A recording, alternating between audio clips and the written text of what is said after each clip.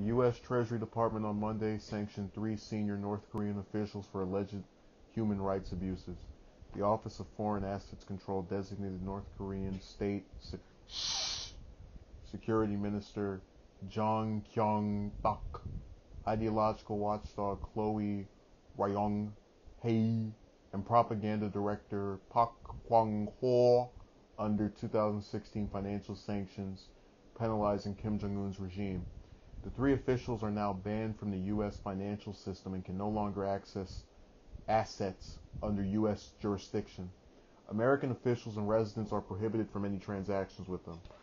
As if that's going to make any difference, considering that most people, if you went up and asked them about these three people, probably have no idea who they are, but that is the common sense of our elected officials.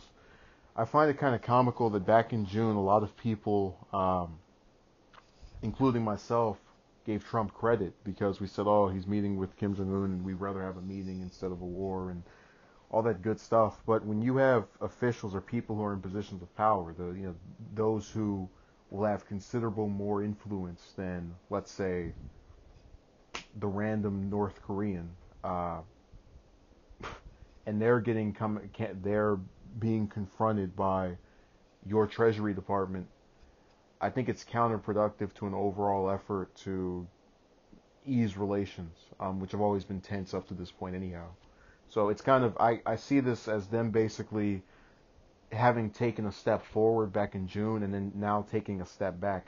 Maybe not a full step, but a half a step or a fifth of a step. Because if he thinks, um, and I don't, you know, we obviously have the part about Mnuchin, but he's he's Trump's lapdog, and we, we all know that his his his, his baby boy in glasses.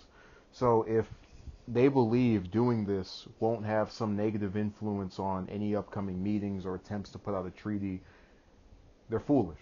Um, and I've said before the U.S. government is ran by fools, but I, I keep remembering that. Wait a second, we're we have an ideological um, subterfuge in in Trump's cabinet, which by that I mean Trump himself might actually want peace with North Korea, even though I, I by his public statements I could kind of go, yeah, But when I think about his national security advisor purposely trying to blow up the summit before it happened, facing no repercussions, and admitting that he wanted regime change in both North Korea and Iran, I am convinced that maybe they're just going off of uh, day after day as opposed to a long term strategy.